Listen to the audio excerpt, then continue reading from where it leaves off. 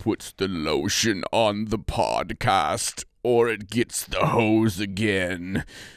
And that podcast is. Trapped Under Plastic, the podcast people that watch podcasts instead of just listening to them like normal people. is that true? I mean, that is true. We definitely get more views on the tubes than we do in the uh, in the the downloads, the buzz sprouts. Maybe the buzz sprouts and the, the weed feeds and the, Weed feeds.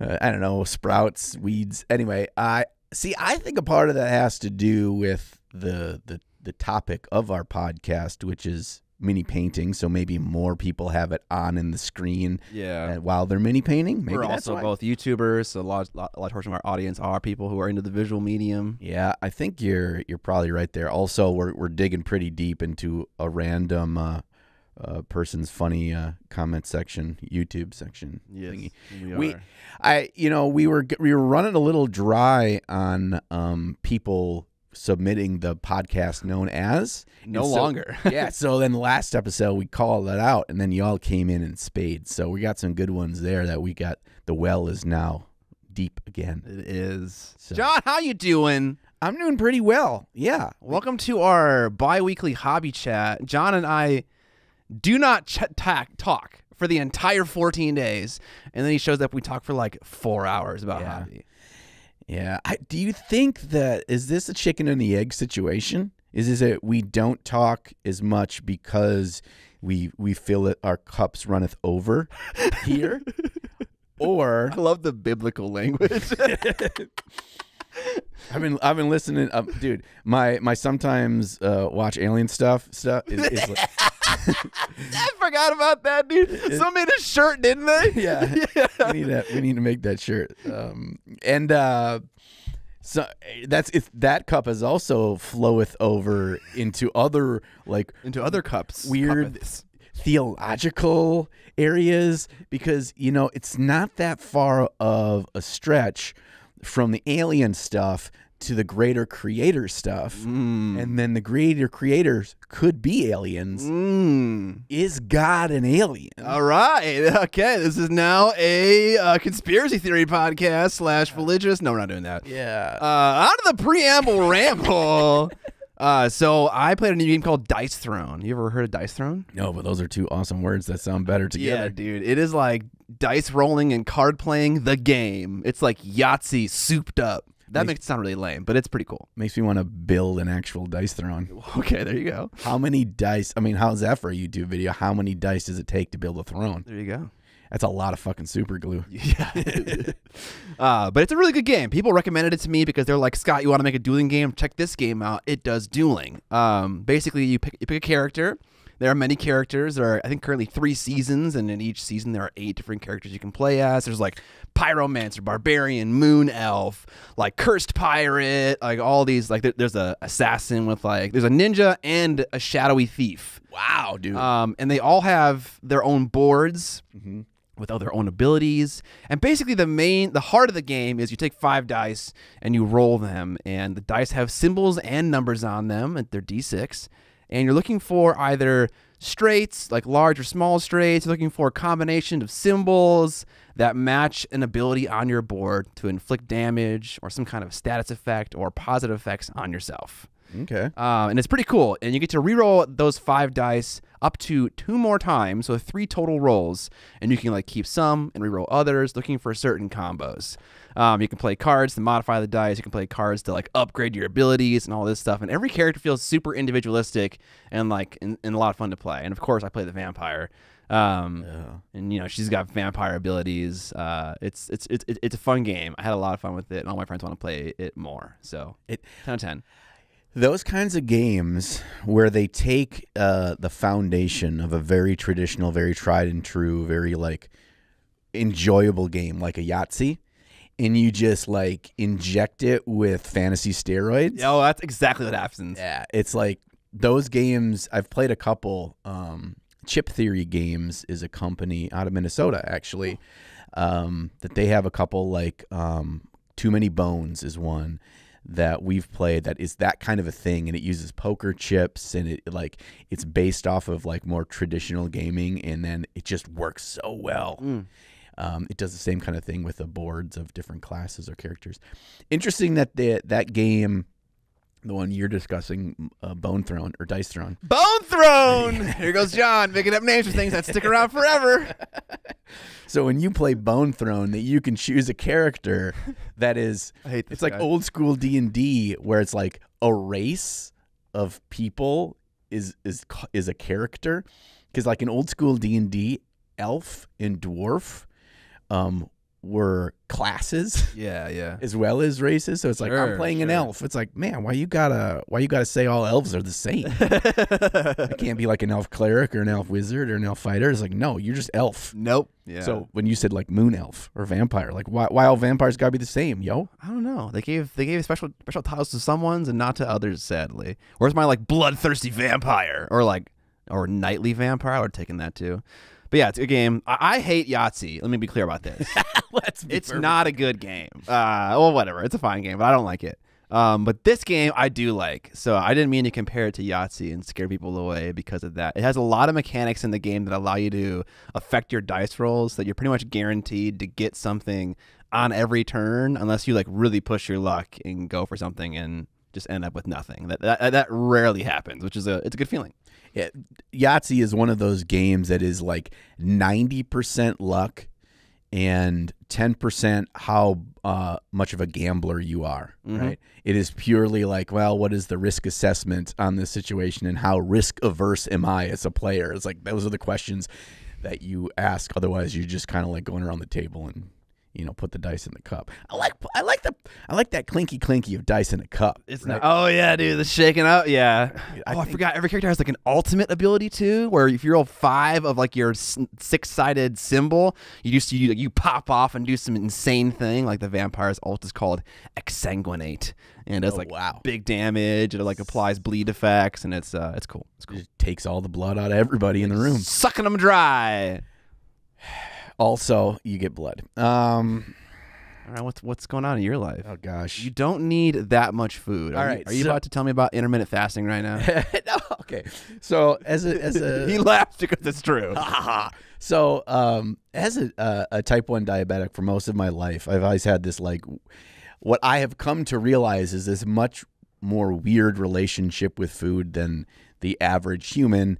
Um, it's just kind of the way I have to like ride this line all the time with food, and so only till recently I had this revelation of like how as long as you're eating like nutrient rich food food that's good for your body that gives what your body needs to survive like how actually little quantity you need which made me realize like how much food in today's society in society I'm, I'm cringing right now. I fucking hate that word. um, that we eat, especially in Western culture, I feel um, that is not is for nothing other than the pleasure of eating it Yeah. and identifying that. I'm not like you know trying to be holier than thou or whatever because I'm as as guilty as everybody, and I'm like rubbing my hands thinking about eating chicky for lunch or whatever we're gonna have. Um, about like, gosh, how much did I eat that is not necessary? Yeah. um, and I'm just like, it's wild, and you you poop way less because you eat way less. That's that's kind of nice. I mean, Less of a dirty butthole. yeah, you know, you got you got to squirt your butt less. So Yeah.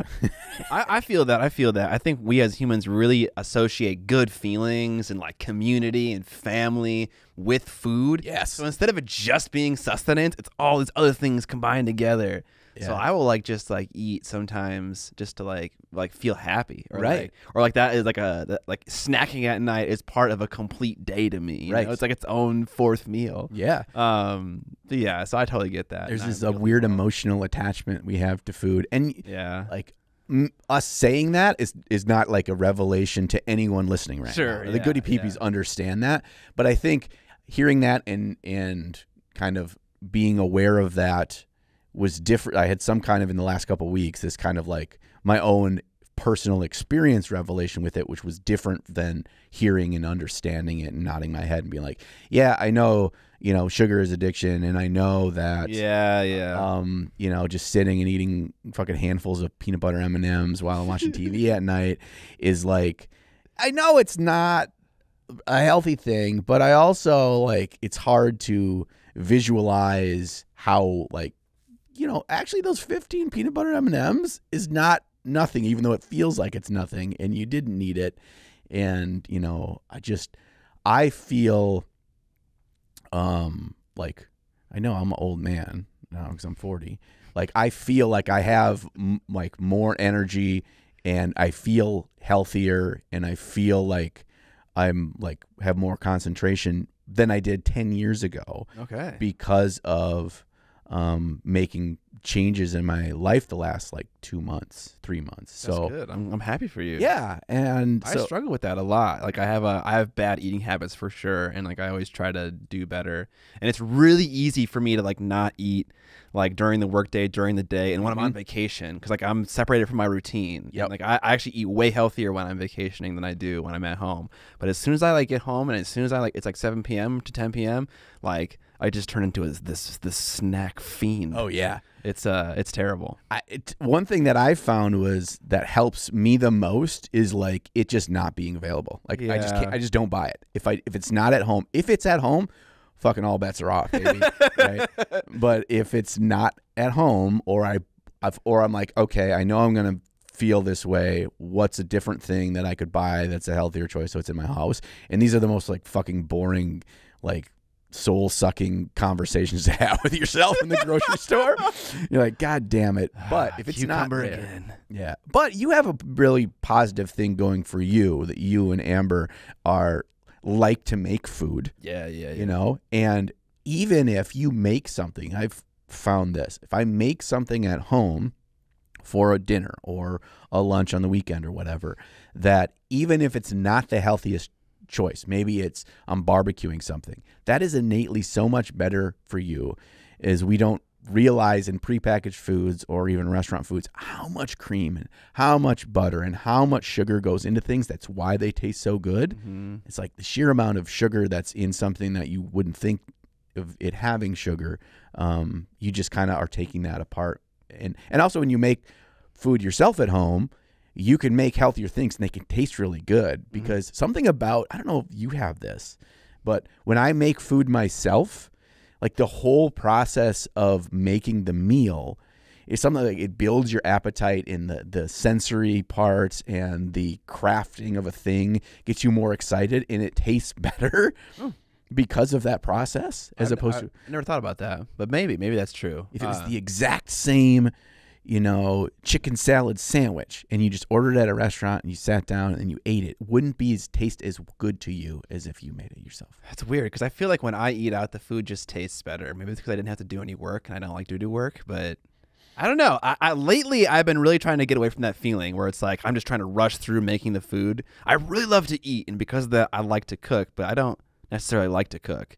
If that makes any sense. So I, I really lately I've been trying to just like, you know, now I'm gonna cook for an hour, and that's okay. And I just kind of chill, and I just go slowly and make sure I do everything right, and then it's fine. I have to be like really mindful about enjoying the uh, the cooking process. Otherwise, it just kind of feels like I'm burning an hour, and it's not fun. yeah i mean there's that the the how can i how can you maximize your time and not feel like you're using all of it so this is now uh aliens in health podcast Yeah. yeah.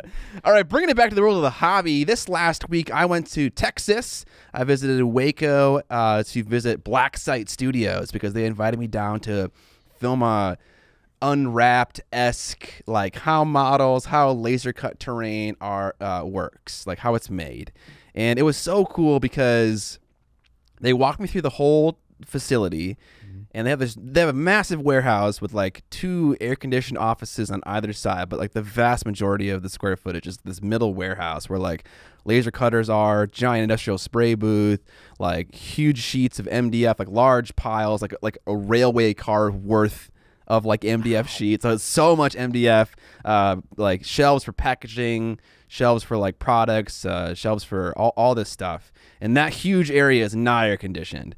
And like they're wearing like pants and like like closed-toed boots and they're sweating their asses off in there. And I was too, like running around with a camera and like filming shit. Um, but it was so cool. It was so cool. They gave me a tour and explained all the all the bits and bobs, like what the process is, each step, like why they do each things. And I knew I knew a fair amount about the resin casting of models, but there were still things in there that I learned, and I learned so much about laser cutting terrain, and like what laser cutters need, and like all this stuff. And I think it's gonna be a really cool, just like how it's made kind of video. Like I love those kinds of videos, and I hope it comes across that way. But I'm like, Amber had the camera, and I'm running around like like kind of kind of shouting over machinery explaining how like these things are working and so there's fun energy to it and they do everything there like they, they sculpt the models they print the masters they do the resin casts they clean them up they package them up and they ship them out like they do everything in that in that building and so it was cool to see it all start to finish Oh, I got so many comments and questions. Him- Okay, so in regards to the sound, right? yeah yeah yeah yeah Um, i had so, i had some solutions to make it not as bad but uh, you typically in you know making videos, controlling the sound and minimizing outside sound Yeah. is a big thing. it is Um, we're lucky in the hobby stuff where anybody that's making a video on that, you typically have control over much of it, right? yeah and, and like especially in an environment like this Yes. Yeah. Um, but there's also a level of like energy and excitement and the you're along feel, for the ride yeah, right the feel of things are happening. i'm hoping that comes across that, and that sound that sound adds to it. kind of yeah If there is no sound in there and it's a big empty echoey place, it doesn't feel alive. yeah And so that sound it can, can work for you as long as, you know, like your voice is still clear and louder enough that they're not kind of on the same wavelength. and Right. It makes it harder for the, the audience to hear. But and that's the main strategy when you're in that si- si- situation. Basically, you, you turn your input volume on your mics all the way down and you shout louder than the machines. And then mm. suddenly, it's since you're like twice as loud as them, they all sink down in the mix like way lower. And so I, I did that. I'll do some noise removal and you'll still hear it, but hopefully it'll be reduced. But I told all the employees just ignore me, do your work. I'll be in your space for a little bit, kind of explaining each step of how like how it works, and then I filmed B-roll as well of them doing the individual steps, so you can see people like sweet. they, like we ha- there's like the big old uh uh I'm, I'm losing it right now. Oh, spin caster. So like I saw the guys like uh putting the the like the Vulcan molds in, pouring the resin in, turning the thing on, and it spins. They take it out, peel the mold out, kind of clip it up to like clean it up a little bit, send it over to QA, and so you, you see all the things happening, and it's I thought it was pretty cool. Um, okay, so are, are they producing resin models at Black Site Studios that are all in house, their own products? Or are they a also a company that does it for other people? At the moment, they're just doing their own stuff. Okay. And they uh, previously they had their own resin caster, and I would say in the last couple of months they started doing it in house. Uh, they got their own uh, spin casting device, their own vulcanizer for making uh, rubber molds, and honestly, I was I was kind of shocked at how good it worked, um, and how like high high quality their models were for them being like novices, so to speak. Okay. Next, that warehouse. How amazing did it smell? It, I mean, like I like laser cut Yes, terrain, me and it, too. it smells like that everywhere. Oh my Like, God. you can't avoid it. I fucking love that. There's eight. There are eight like he called them prosumer laser cutters, but these are like big, like six foot by six foot machines, and they each have names, and a lot of them were named after Cheryl? Pacific, Pacific Rim like uh, monsters, Wow. or not monsters, like uh, like mechs. The first one was called Gipsy Danger, the classic one. Uh, Those sweet ass names for your machines. I know, as opposed to Cheryl. Dude, it's funny if there's six of them and five of them have sweet ass Pacific Rim names, and the sixth one is just Cheryl. But yeah, uh, they, have, they have one guy. Uh, I can't remember his name. His name is Travis. He ran all eight machines and made sure they were all like in uptime, like cutting sheets of stuff. Um, and he he also fixes them too because apparently they break fairly often. Like at least one is down at all times. Um, they're, they're kind of finicky. So he's the he, he's Mr. Fix It. Oh yeah, he's he's the he's the laser cutter wrangler. Yeah. I can fix it. Yeah. He just goes around with his little his little Wreck It Ralph hammer. He fixes it. Yeah, yeah. Um, that dude must smell amazing all the time. yeah. he doesn't need a cologne. He Yeah, he comes home from work, you know, just like old coal miner that stinks like coal mine. He just smells like that sweet, sweet MDF. Exactly. Sweet. Okay, final question, comment. Mm. Can you talk about the lasers? Are they look? Do they look? Do they look like James Bond lasers? Uh, they're so close to the cutting material that you don't really see them at all. Like they're like within a sixteenth or an eighth of an inch. So all you see is the cutter head moving, and there's like a little bit of combustion by the surface, a little bit of a little bit of fire. But one thing I didn't know is that laser cutters need three types of like inputs to work. They need power, obviously, for the laser. They need a coolant to keep the laser cold. Uh, and then lastly, they need compressed air because they need to blow debris away from the cutting area. Otherwise, the ash and soot will mm. light on fire. Yeah. That fire will cause smoke. The smoke will get into the mirrors that are in the laser cutter and it will fog it up. And then the laser is just insta dead. Like it'll die right away, like within seconds. And so, yeah, like a laser like bounces through mirrors to get to the cutting place. It's, it's not it's not like the source is like right there at the cutter. It starts somewhere in the back and shoots through and bounces down. Man, there's Cool. Uh, this is this is um, uh, amazing. Yeah. I would That and more in my video coming up in I don't know when. Whenever it releases. Yeah, I, th- I think in August it's gonna come out August. Okay, I'm I'm excited for that. This is this is a little bit of a yeah how it's made kind of a vibe for me. Yeah, like you, uh, you know, we grew up watching like the behind the scenes for like Lord of the Rings and all that Mm-hmm. shit. So it's it's like that vibe for sure. Okay, that's pretty cool. All right, I, uh, some more stuff from me. Um, finally, finally, in I can see the light at the end of the tunnel of me getting my tattoo sleeve done. Ooh, Found it. Found a, an artist I really vibe well with. Really happy That's with, cool. with his um, uh, with his style, and actually have a buddy that's found out about my buddy that's getting work done by this artist, and uh, pretty good communication with him so far. And he's he's just north of the Twin Cities, so it's going to be like an hour and a half drive for me either way. But I have a appointment booked, and uh, sent him so many so many words and so many pictures. Um, but uh, so yeah, that's exciting. It's a little little bit of something that's happened in the last fortnight for me. Um, and then another thing, Scott, I watched the movie. Ah, I saw you put the Northman in there, and I'm sad. Okay, because after our last recording, I had like the, the rare came up where I had a night to myself. Just wanted to chill at home. Just wanted to just like watch a movie that I was excited for. I had no nothing in mind, and I sat down and I just started scrolling through, and I found that the Northman came up, and I'm like, I, can't not watch it. I respect that. I am no longer angry. I would have done the same thing. And that is such a good movie. Isn't it, dude? Like he has to go on a quest to find his sword, and he has to fight like a barrow knight, like to get Yes. it. And like I think his what's his sword called? Like Midnight Drinker or something like that, or I don't like even Night remember. Drinker. Yeah, it- yes. it's just like when you step back and you kind of just explain the plot out loud. You're like, this is so fucking epic. It's so cool. Yeah, you know, it's like he's a small boy, and his his dad, who's the Thane or something, Yeah. you know, the the ruler of an area is murdered, and you know, by his uncle. And uh, this isn't really spoilers. It is like the beginning of the movie, the whole premise of his journey. Yeah, that's the whole thing. Yeah. yeah, and then it is his journey for revenge, right? Yep. and which is just like a good bloody revenge story can be basic, and it's very basic story. Yeah, it is. and if I oftentimes appreciate a basic story done well rather than one that is added with layers of convolution because the the basic premise doesn't have enough weight.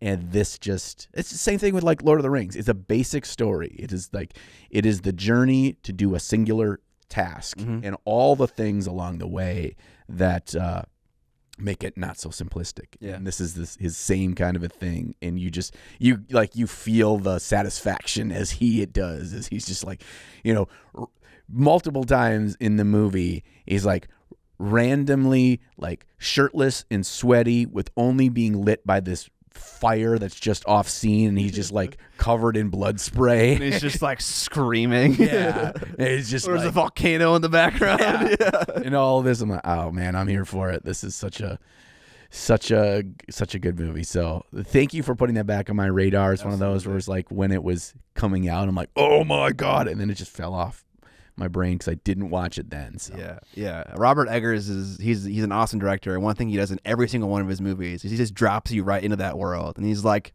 "Fucking fucking figure it out." I'm not gonna. There's no exposition. There's like very little explaining going on. It's Yep. just like this is how barbarians are, and you're just like, okay, sure, I'm along for the ride. right. and so it's cool. I like that. It, it, it doesn't like talk down to the viewer at all. No, and it it tells it gives you enough. There's never like the the awkward. The character looks towards the camera and explains like, and this is how our society is set up. Yeah, yeah, exactly. like, nope, None of that. Nope. None of that. but there's enough along the whole way that like you get it all Yeah. without having being told. So Yeah. All right. I, uh, last thing from me, I, I finished my game tech book while I was in Texas, and uh, I just want to I want to share like one small thing about like game design that kind of came up to me uh, while I've been reading this book, which is a really good book. You should check it out if you're uh, into that kind of stuff. Um, and there was this uh, this concept of endowed progress. Um, a player is more likely to want to invest in your game and progress in your game if you feed them bite sized amounts of progress along the way. So, an example of that being like you can earn uh, victory points in Age of Sigmar every single turn for doing these small tasks. And so you can feel that sense of accomplishment and it feels like it's endowed to you, like you, you earned it and it's yours. And so I was trying to think about how does that apply to a dueling game? And I was like, okay, maybe like what if the health pools were very large, like say 50 uh, HP a person, and you would be doing damage every single turn, like significant chunks, maybe like 8 or 12 or 15, even in, in a big swing, and you feel like you're making progress, but the game isn't like ending in like two turns. Yes. Yeah, this concept of uh, feeding them small progress uh, throughout the game so they feel engaged. Right. And maybe there is a a a reward system in that where it's like you different characters can get different buffs or different bonuses or whatever. Yeah, It- yeah. and it's like you, you're able to then flip this card when you've knocked your opponent to 50% health or once you've done 15 damage in a round, this now activates. So even if they're like, you know, there's going to have maybe some some healing mechanic or some Some like You know- rage mechanic where you're going Yeah, crazy because right. you're damage. when you've taken so much or when you've healed yourself so much or these things that are like yes there is the value of i'm getting you closer to death but i've also right. uh, by doing the thing that is the goal of the game also makes me a lot cooler things that i can do and i feel rewarded by doing Mhm. that Yeah, you don't want like a binary result. The guy is alive or he's dead. You want to you want to feel that progress. Yeah. and sometimes just like the the value of doing 15 damage when they have 50 health is good but then there's can be a a kickback of like oh gosh now he healed eight now i just feel like i'm making no progress well but if i also unlocked my reaver cleaver or whatever um, but- Wendy's item. yeah yeah then uh uh then it's then uh, I feel good. Okay, good. yeah. This this this game, it's just like all coming together. It's all coming up roses. Yeah. So now I'm on to I'm on to a, a, a new book called The Theory of Fun uh, by Ray, Ra- uh, Raf Rafe something with a K. He has a, a name I've never heard before. Um, but I don't even know what it's about. But it got recommended, so I'll, I'll read it. Cool. Yeah. Um, my final thing in the dichotomy of talking about healthy stuff lately, um, Popeye's chicken Mm. continues to to dangle its its greasy goodness in front of me. Lo- that uh, back in like 2020 or 2019 was the first talks of them opening a Popeye's chicken in my town, and uh, it's like ebbed and flowed. It's like oh no, no, it's gone away or now, and I just there's Not a, yet. there's a recent update that uh, the the the land that apparently for this restaurant is purchased and now it's like back on track for starting building. So just when I thought it was gone, Popeyes is back in my life. Yeah. You know, at this rate, maybe before I die, I'll be able to have Popeyes within driving distance. You, you only get it when you go to Adepticon on the way back. Uh, you eat it like a once a year. I know, and I was think about it fondly and options that we could do for lunch when I'm up here. Mm. You know, Yeah, there isn't a great Popeyes like in this area. We need to go like uh got to go to the the, the ghetto one. yeah yeah the one on uh what is that University? Rice. on Ri- I think on Rice. Oh, okay. There might be one on University. University is a big road. Yeah. All right, on to what we have painted. Um, I have a couple things. Um, I finished Neferata. We've talked about Neferata a couple times, but now she's finally on her throne, and the base is like ninety percent done. Um, I added like a bunch of tufts and like mud and, and stuff like that to it. I want to add more because the base is so big it deserves more. One thing I'm really dis- uh, kind of disappointed by with the Neferata sculpt is that like she is looking straight down. Like even if you look at that model from front on, from like the height of the the beast, like she is just staring straight down into the ground. Like it's it makes sense, right? But it makes for a lame curb appeal.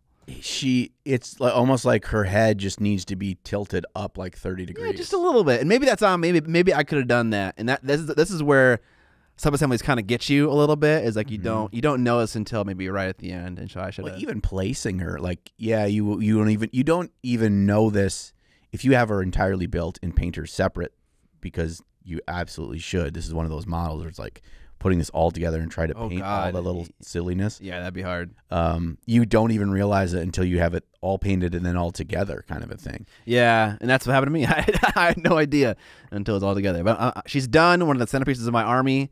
Happy to have that done. I, I doused the whole base in uh, dirty down moss, and I was just so happy with how it turned out. It, looks was so fucking good. It was incredible. It- like like you, you joked about in the in the, the live stream. It was like at least four dollars in dirty down product. I know. that shit is like liquid gold in that bottle. How expensive it is, but it's like, oh, yeah, but it looks so awesome. So you just got to keep going, dude. Yeah, it really worked out. Um, on smaller bases, it would be be more tenable. But uh, yeah, I got to do some more painting. I got to paint that chain around the coffin, the ghost hand coming out of the box. Got a little cleanup on there. Maybe some more tufts. Um, and then I paint the base room, and she'll be done. Gosh, yeah, it's the thing about the Dirty Down products. Why they're magic is that they create naturally this interesting inconsistency in just putting it down, whether it's the rust or the moss or the verdigris. Like it naturally dries in a way where it's like over here it's like more vibrant, over here it's more dark, and it's just like it's replicating what these things do in in nature Yeah. in an almost chaotic way that you don't have to like consciously make those decisions and apply it in this exact Right, way. Like yeah. it does it naturally. There are lime greens, mid greens. It looks nice and dusty. Which that's another thing that's like grass doesn't necessarily look very like like or moss doesn't look very satin, right? And Yeah. so like it's nice that it's super matte. It definitely sells the feel. It it acts like a wash. It really sinks into all those pits. Like on the rock, like in the front, it's sunk into all the pits on that rock and it looks like fucking moss. Yeah, it's like that's where moss would grow. yeah, where, yeah. Where it gets less light and more moisture. And the, even the finish of it, uh, we are not sponsored by Dirty Down, but We do have an affiliate link in the description, so there you go. So or you- Tup. So if you want to check it out and buy it off of our recommendation, we both really like it. yeah, and well, and I think we do get a little kickback from that too. We do, yeah, we do. So uh, we are kind of sponsored by them. Yeah. Um, but the even the finish. So you said it's very matte, but it's very matte in the parts where it's brightest, and it's less matte in the areas where it is, um, you know, it's it's not as thick on or it hasn't settled as much. And I really like how it's like it acts almost in this like reverse shadow, where typically if you put like a wash over something, it's darkest down in the recesses. This product acts kind of opposite, where down in the the thickest reset recesses, it is brightest, Yeah, kind of like that. Yeah. and so it does the same thing with the with, with all of their their products. So, Yeah. and they came out with a new one that I haven't tried yet, which is like a different rust. It's like a yellow, more yellowy, aged Yeah, yellow rust. yellow rust. I don't know what the deal with that is. Yeah, I mean, maybe if someone sends us a bottle, we could find out. Yeah. Um. Okay. What you got? Uh, I painted these two little bug boys here Bug boys. in uh, my most recent video. I I, I did a like revisiting your like starting techniques. Like I revisited just using washes in a way that when we first learn mini painting, m- most of us learn. And also, I came to the question of like, is that still the way most people learn in the, the day and age of contrast paint and stuff? Ye- Oh, I mean, I don't know. um, but like just doing base coats, wash, highlights, and I feel like you and I are have our pulse on the hobby and how people learn, and by creating videos and the content that's out there for people to um, up their mini painting game or just learn it in the first place. And I feel like washes have kind of been forgotten. It's not talked about as much. It's kind of been overshadowed by slap chop and contrast and zenithal highlight and all these things. And you know, eh, motherfuckers act like you forgot about Dre, okay? But Dre in this situation is washes. And so I was just like going back to just washes. And I came to the realization that as advertised, as the basic way that, that a product is marketed, I vastly prefer washes to contrast paint and speed paint because of the flexibility that you have with washes that you do not have with a contrast paint. With the contrast paint, you get um, zero depth of color. You get a darker red, a mid-tone red, and a lighter red that's in the bottle, right? But you don't get the variance that you can get with a wash because you have extra variables, and that is in the base color that the wash goes over. And those don't need to be this exact same version of red, just a darker and lighter version of it. It can be, well, the base color was a skin tone, and then I added this blue wash over top. Suddenly, that's a way different amount of options or variables of what my final product can look like versus starting with the skin tone and adding a skin wash or a brown wash or a black wash. And then how do I layer back up? Suddenly you have all these variables of depth of color that you don't need to be a painting expert. You don't even need to understand all those things um, to give your models equally vibrant final outcome. I'm kind of talking a little bit about what we what we experimented with and what we what we learned, which we talk more about in the after party for our patrons. But I've got some more depth to talk about there. So the the the dude with the blue here, this was a one hour paint job, and the dude with the uh, green and rust color is a 30 minute paint job, and just experimenting on painting fast, but two different versions of using washes as a main foundation and a main step in the entire painting process, and um, just leaning into what they do well and trying to maximize your final product in a quick amount of time. Yeah. I'm reminded of like kind of the old idea that like when you combine when you when you take a tool that combines two purposes together, it often does those two purposes worse than the individual things. It's like a Mhm. it's like a router mod- modem combo, right? Mm. So a contrast paint is a base coat wash combo, but like base coating and washing it isn't necessarily better, but it gives you just so much more flexibility. Like you said, you can you can change up the base coat. Like you, you can do a red undercoat with a blue wash, which is not possible with a contrast paint because it, it- it's going to be a red wash on top of a slightly less red surface, right? So by separating the the uh, the two, you get a little bit uh, greater degree of control. Mm. Yeah, and I This one's great. I like the blue one. I know. And uh, this one, the big difference is, uh, spoiler, is this one used a lot more dry brushing. Yeah. And this one was just basic layering. Um, one crazy thing that I kind of came, this kind of kind of come to Jesus moment in this process. Again, back to aliens and, and God.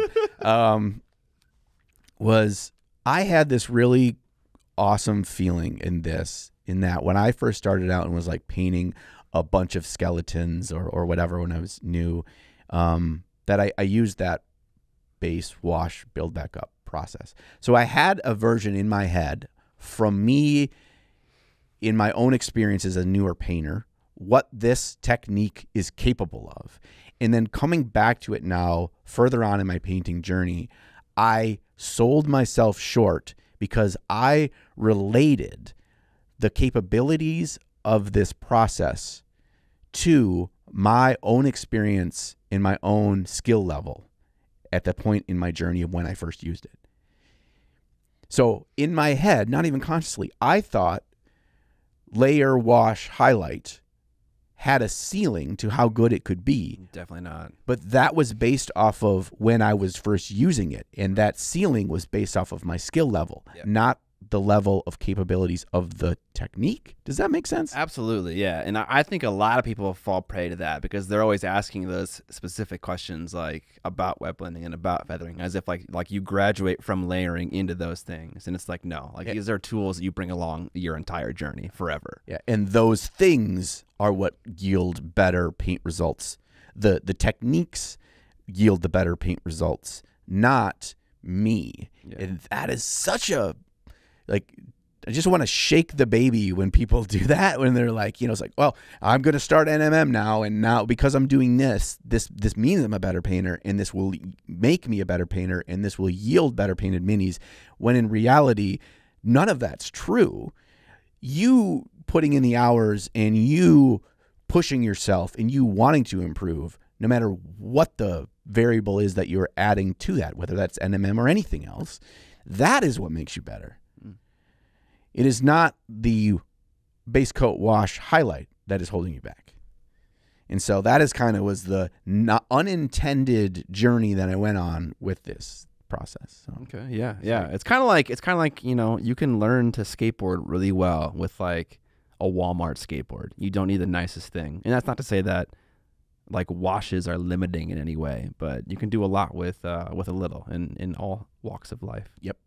Yeah, and it doesn't matter if you have a five hundred dollar skateboard. If it's your first skateboard, you're still gonna struggle with the base. Yeah. You Yeah. know? Yeah. Yeah. You know, my I remember my Teenage Mutant Ninja Turtle skateboard that was from Walmart, Yeah. and it was like it struggled because it didn't have that smooth ride, and the, the wheels didn't just like you just pu- you know you pushed a wheel and it would just go for a minute and a half. You'd do it and it would rotate like two times and it'd stop.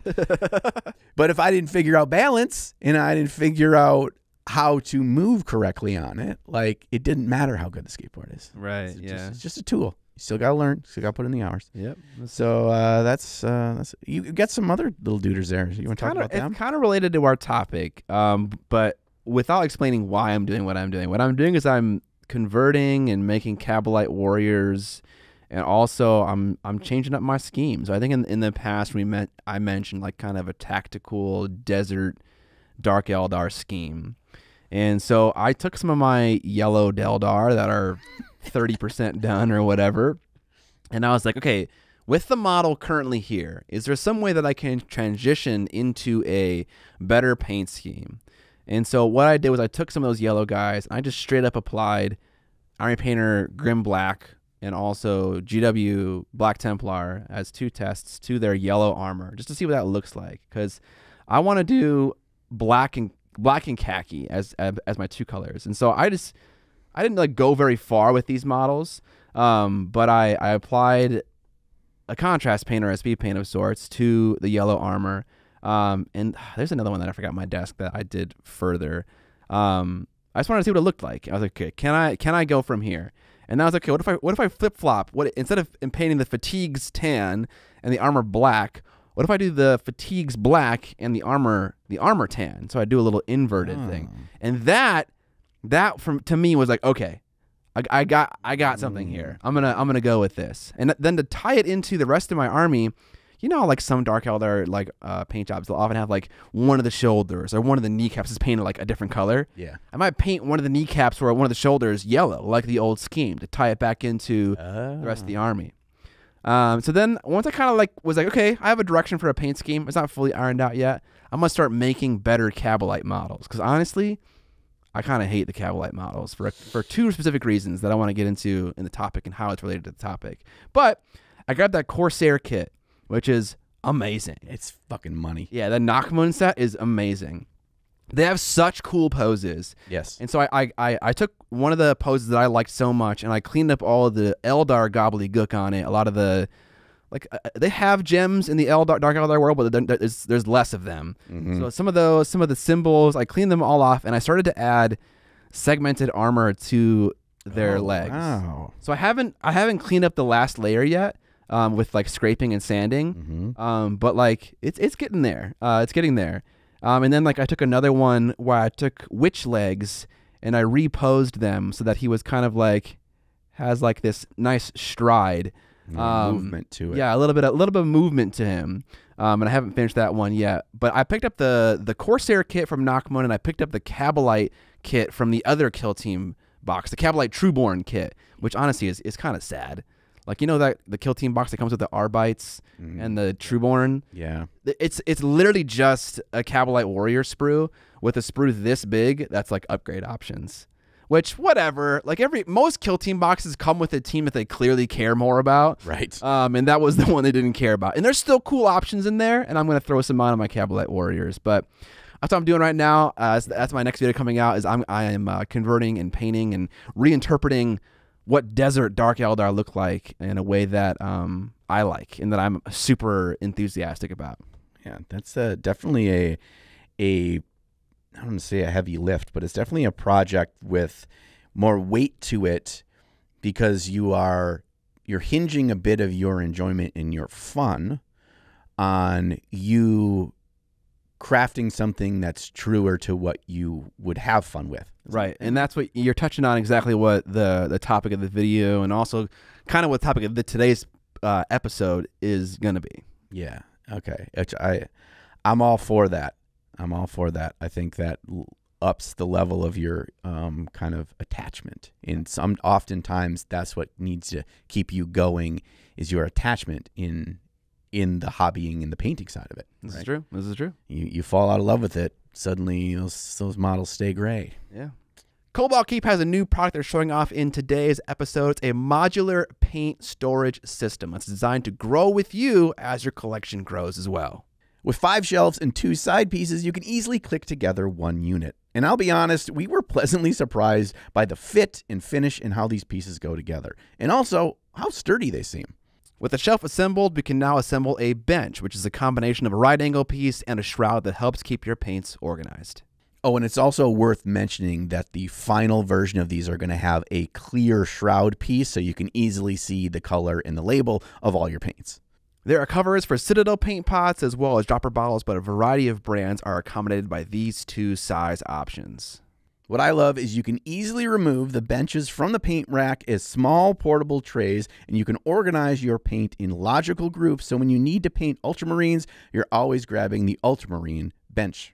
If you get more paints and need more storage, each side piece has an additional connector so you can expand as your collection needs. The individual units are sized such that they would fit inside of an IKEA Kallax unit, a piece of furniture I'm sure that we're all familiar with as hobbyists and gamers. We really appreciate how intentional this design is, and while there is a fair degree of modularity and DIY potential, Cobalt Keep clearly put a lot of thought into how this tool is going to be used and how it's actually going to help us as hobbyists. If you want to organize your workspace by picking up a couple of units, they're running a Kickstarter campaign that's live right now that you can find linked in the description below. A big thanks to Cobalt Keep for sponsoring today's episode. And speaking of that episode, let's get on to the main topic. Jon, what is best in hobby? I, it doesn't have something to do with uh, drinking the blood of your foes and crushing all their models on the table physically with a hammer. And hearing the lamentations of their wives? Yes. No, it has nothing to do with that. It has something to do with feeling a personal connection to your models. Yeah, man. Like, if it's not like just you in that model, like, is it even a model, man? Whoa, dude. we treaded into an interesting territory. A, you know, we watch aliens sometimes. Wait, wait, what, what was the state we watch aliens? I think about aliens sometimes. yeah, today's episode is about how one of the one of the things that's most important to us as hobbyists that we realize because of uh, kind of a unique situation that we put ourselves in with sponsorships, but also one that you may experience because of things like uh, commissions and stuff like that. Yeah, if it's not until you've reached a point in your hobby where you're doing something that you have no connection with and you have no excitement for, do you realize how important that connection, that individuality, that bit of you that really is connected to your hobby, how important that factor is? Yeah. So for the longest time in Age of Sigmar, in version one and two, I, I didn't play any games uh, in that in that system. Um, and then suddenly, when Soulblight Gravelord Gravelords came out, I played a decent amount of Age of Sigmar, and I bought models. I hadn't bought any models in the range other than a couple like one-off things Yeah. for a super long time because I felt like okay, the Wood Elf faction is gone and dead, and like Legions of Nagash isn't exactly what I want it to be. Like they didn't really care about vampires for a long time uh, for undead stuff. They did a lot of like skeletons and zombies and stuff like that. But then finally, when Soulblight finally came out, I was like, oh. I have a faction that I love and I'm interested in and playing, and that I can like kind of put my creative stamp on. So to you, the biggest part was it has a it has a foundation that you care about. It is a faction that you just aesthetically you look at, you connect with whatever that story is. Some people the the lore, the background is a big part that they connect with. Some it's purely aesthetic. Um, some is is visioning your own version of it. Um, but it has to have a foundation that you attach to. Yeah, and sometimes like you will like things outside of Warhammer and bring that into uh, like the game. So I feel like a, if like a person that likes dwarves, like there is a dwarf faction, and like you kind of can relate easier to that faction, and you will enjoy it more. And it's same for vampires for me. I like vampires in all like media, and so it's kind of just an easy W. But yeah, I, I want to. I want to feel like the thing that I'm picking and playing and uh, and like and working on and hobbying on is like kind of like an extension of like me, my personality and my creativity. Yeah, what you like. But that's not our our big aha moment. Our big aha moment is nothing to do with like finding a base army or faction or squad that you really relate to. It is the next step. And that step is the personalization, is the uniqueness, is the making it your own. There are many rifles in this world, but this one is mine, right? yeah. and that is that is i think we have come to the realization and maybe you have far before us so many people are smarter than us that that the the individuality the there is only one army there are many stormcast armies but there is only one that is this one and that is mine is the true kind of draw the true thing that sets this hobby apart and what makes it so unique is that each of us are doing one thing that there's nothing in the world like it. Yeah, yeah. And that feeling of individuality can come from a lot of places like Jon mentioned, but even if you're the kind of person that like paints like a an army based on the box art, it's like it's still the army that you put your brushstroke on and you invested your time in, and that's what makes it unique and special to you. And maybe it doesn't like seem like visually different for like a, a, bystander, but if if it's enough to like convince you that it's like your own thing, then that is what drives forward like all the creative juices. It's a, it's a it's a very internal thing for me.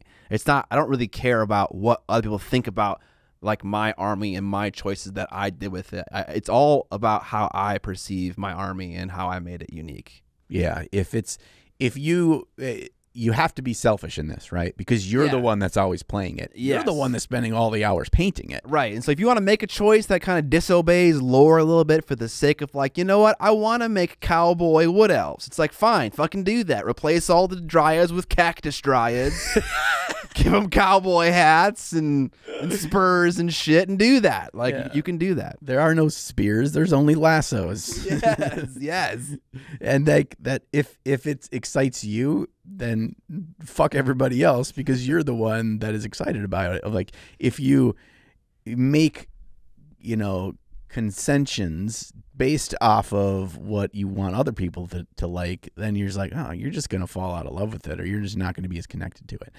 Um, and I think that oftentimes when we start the hobby, we we don't fully realize this or we don't have the skill set yet to customize or to to come up with your own unique color schemes or whatever. And it's like you buy that Space Marine box and you start with Ultramarines like a fucking chode. And so I'm looking at you, Rahul Kohli, who just loves Oh, God. Come on, buddy. One day, one day you'll graduate to not painting them just like the Ultramarines. And I'm not throwing shade on people that really, and this is where he gets in kind of the lore and the history and stuff. People that really like the thing for what it is in the universe of the game.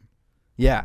I, I there is no downplay on that. But one day you'll go from you just you base cut them all the blue, you put on the wash, you do the edge highlight. You'll be like, okay, you know, what's the story of my army? Mm-hmm. You know, what? Why are they all? Why do they have rusting? As I'm learning how to do little chipping techniques, Mm-hmm. and how is the basing affecting the story of where they are, and how does this affect the unique chapter symbols that I've created for them, or why does this guy have way more purity seals and what's his story and all this and suddenly you're still painting them in ultramarines colors but you have now made your own story, your own unique army, and the reasons behind these tiny details, these little Easter eggs that you've done in the modeling, in the painting, in the atmosphere that you've created are truly unique to you. And that is the journey you go on in this hobby. And that's why this hobby is different than just playing a video game or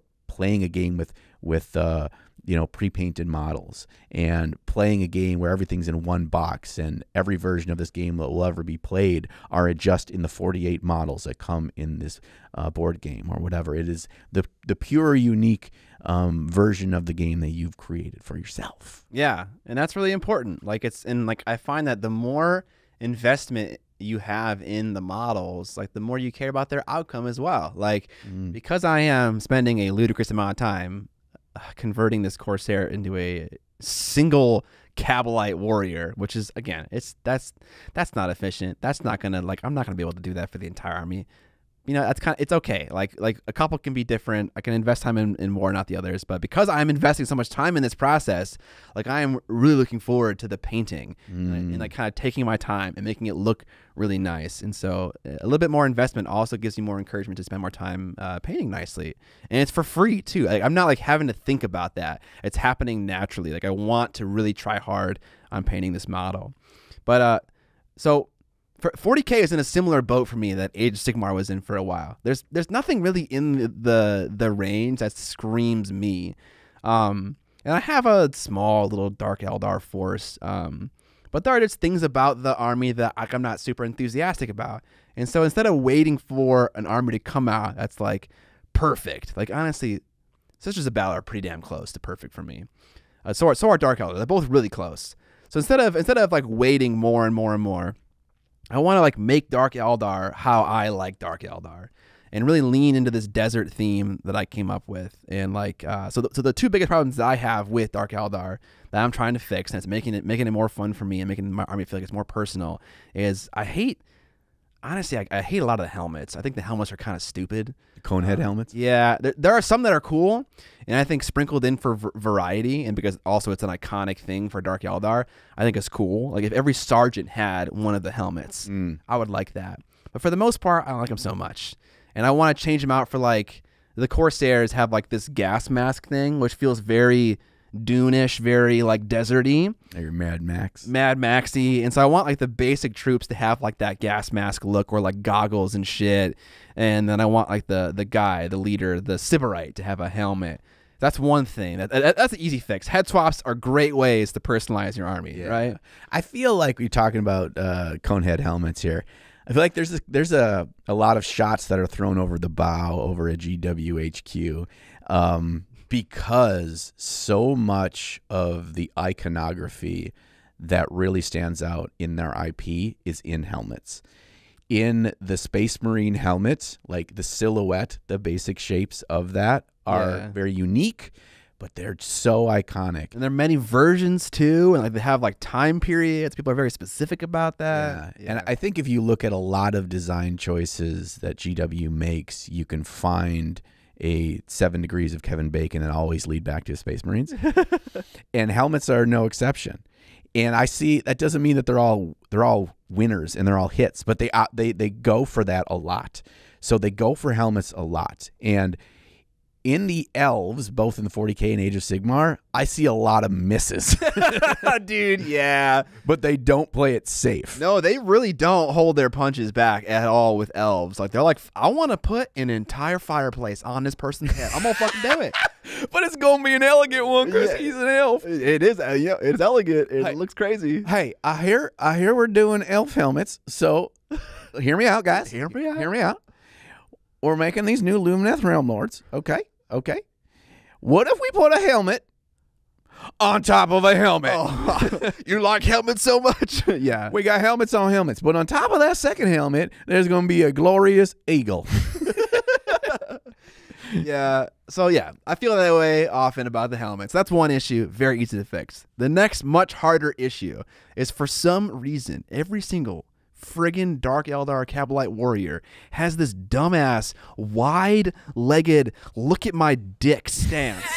like they're all standing like this. Every single one, every single one of the, in like the 5 or 10 sprue all have this wide leg stance. And like Dark Eldar, they, they got they got elf vibes, right? They're pompous. They're they're very holier than thou, and they should have that like that smolder, that walk, Yeah. you know, like this this look of of superiority. Like it should feel that way.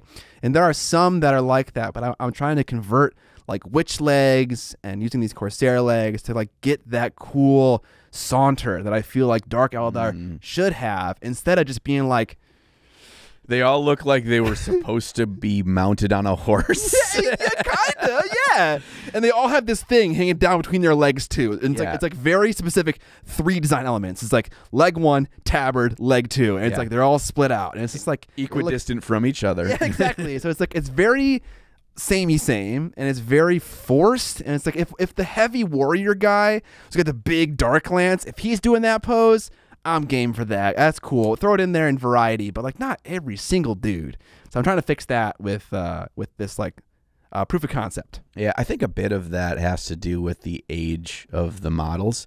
It seems like in more recent, um, the more recent a sculpt is, and you see this a lot in the Underworld's warbands. Again, the best models that Games Workshop makes, and it's not even particularly close, are the Underworld's warbands because each one is like a unique character with an interesting. You, we just need to make one little grot, right? I don't need to make a kit that makes 20 different unique grots, but they're all basically the same. We can just make one best version of a grot. And what they do is they are exploring with the technology and the sculpting and the capabilities the value of posing, the value value of action and movement, the value in how the physiology works in a mm-hmm. body. And it makes older sculpts like this with fucking bow-legged stance holding gun thing, it makes them look aged. And I, I think you see, we see more of that now because of we see what it can be. And you're just like, oh, I got all these fucking cowboy bow-legged dumb shits that look like they're supposed to be on horses, but there's no horse there. There's no horse there. There's no horse there, but there should be. And and eh, part of that then I think it it it feeds this level of us wanting the individuality, the uniqueness, the coolness of our army or our squad more. Um, and so it makes you want to push the boundaries a bit more. I think going back to like you talking about like the the crafting of a unique corsair that you are sculpting fucking thigh plates on this son of a bitch and you're like really making the pose from each individual bit of the model to really give you a final product you're happy for. I think that there you will find in that process. This is my hypothesis. Is you will find in that process what are the core elements to that that really make it work and you'll be able to refine a more streamlined, quicker version that maybe won't look as probably won't look as cool as this one you put all this time in, but will look 85% of the way there, spending 40% of the time or less because you have a, a kind of going through the learning process, you'll identify what really works and you'll be able to find a way to make faster versions of that. That's my hope for you. And I, I, I think that will happen. Thank you. Yeah, it's the same thing with painting, right? It's like with my speed painting methodology that I made a video about. It's like I'm gonna paint this model really nicely, and I don't care how long it's gonna take. I'm just trying to figure out what looks good. Yeah. And then afterwards, then I'll think about how do I make this faster. But it's like if you're thinking about, oh man, I can't. This is never gonna work for my army, and then like you just never give yourself the opportunity to dream and have fun and like figure stuff out and like experiment. Like I've never sculpted armor plates before, but I was like on the phone with Valbjorn. I was like, what, like mm. should I use a mixture of green stuff and milliput? Like should I should I worry about like getting a nice surface finish and should I just like polish it up afterwards and like how should I get like the radius of the details right so like when I come to edge highlight it it won't like be like this sharp milliput edge, you know? Like all these questions and it's like you would never have learned and figured this stuff out if you didn't just like give yourself the opportunity to spend five hours converting a model. You know, it's like, yeah, it won't work for your main army, but you'll learn a lot, and maybe you can take some of those pieces, pieces that Jon alluded to and put them into your your actual army and spend less time. Yeah, and I, I wanted to, uh, I want to take a sidestep here. We're, going to come back in a little bit. Gonna strafe a little bit. Yeah, we're gonna we're gonna do some circle strafing here on our target. Okay. Um, you know, you got to target lock first, and then you can circle strafe around them. Is this, uh, is this the Breath of the Wild reference? Uh, is it any any, video yeah, sure, sure. any modern action video game that does the target locks system. Um, I'm going to talk about this from a, a purely painting perspective for a moment and step away from the gaming thing Sure. because I found that I've we're all kind of in this soup of really hard P on that soup. Yeah, you really that Yeah. A lot of pull what's that P word that plosive. plosive. Yeah. Couldn't couldn't think of it, but I knew you had me there Yeah. uh, you have my back. So whenever we are finding models to paint, it's not for a game. It's not for could be a Warhammer model, could be a bust, could be a larger scale, could be a 3D printed Patreon, something you want to back.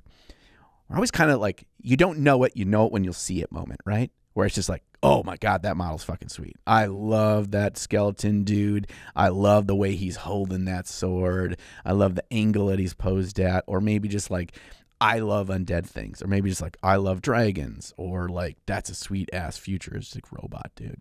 Mm-hmm. we all have this moment where it's like, yep, I want to paint that. And we don't often think about what that is or why we think that. We just like the things we like, or we even like, I don't particularly like those things, but that version of that thing I really want to paint.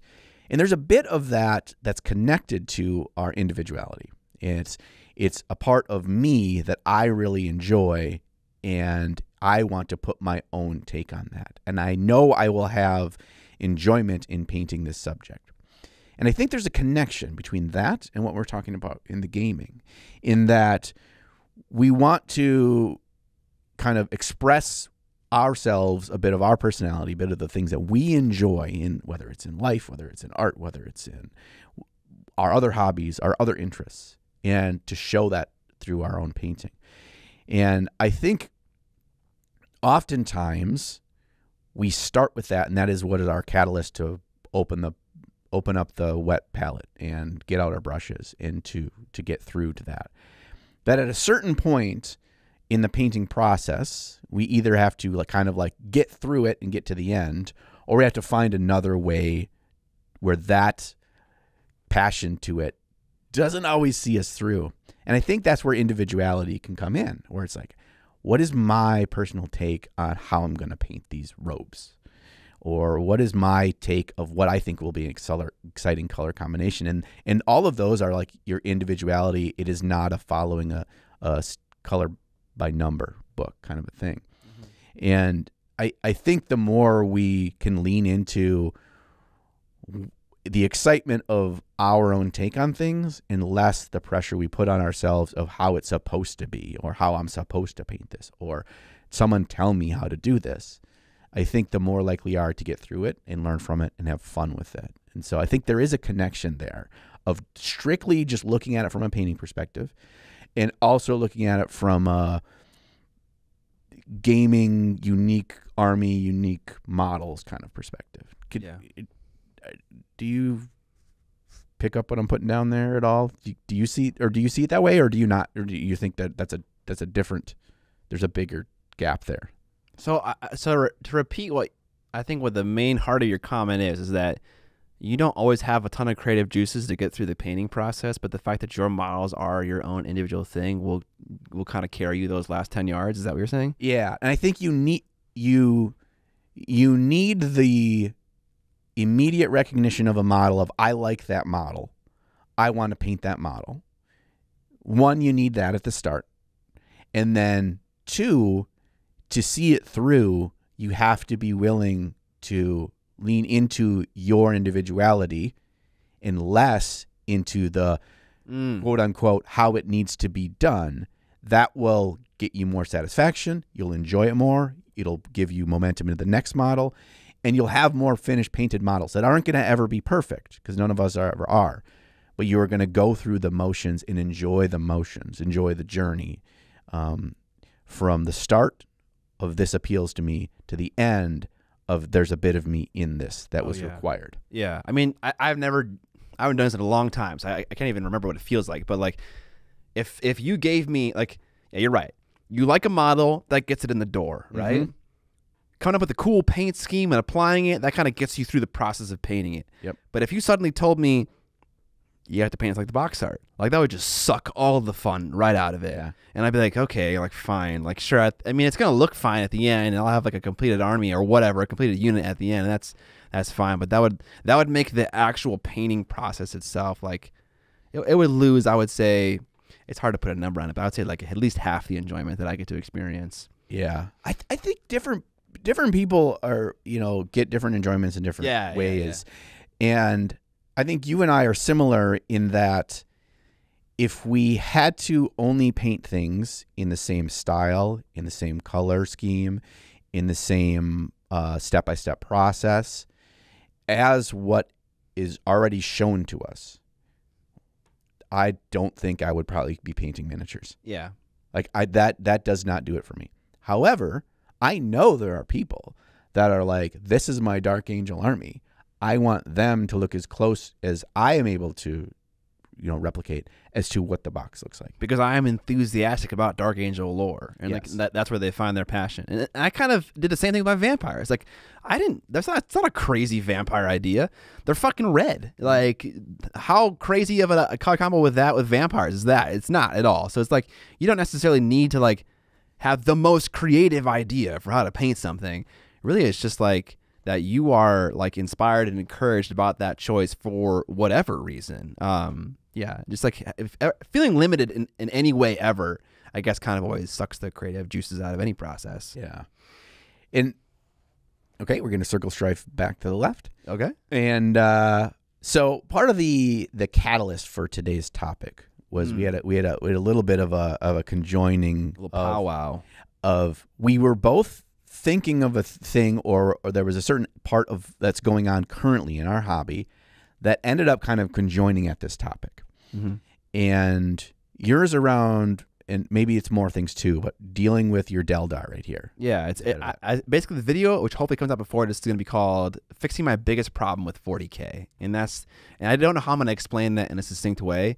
And it's not 40k's fault; it's my fault. It's a self-induced problem, and that this feeling that I don't have any ownership over any faction in 40k. None of them feel like Scott's 40k army, and I'm so I'm going to make Scott's 40k army right here. I'm to feel like I have a thing that's mine to hold and to keep. Yeah, and it is it is purely you, and because of you're taking an existing thing, and you are twisting it into the a little bit, you know? yeah enough to where it becomes the you that didn't exist ex- in the range before. Yeah, yeah, and like it's way easier to do that with vampires because they're already what I like. Yeah. so I don't have to do as much work. This is this is a little bit more work. Yeah, it's a little bit more work, a little bit, a little bit more Mad Max Fury Road. hmm Also, I mean, I've been watching Dune. I've watched Dune like three times in the last like two months. I think I need to rewatch tonight. I get a movie night by myself again, talking about Northman, and so I've been thinking about what I want to watch, and I got the I got the big TV, the big surround system Ooh, baby, I love that. So I was like, ah, damn. Every time I come to this, and I'm like, oh, maybe I'll just watch a movie I know I love,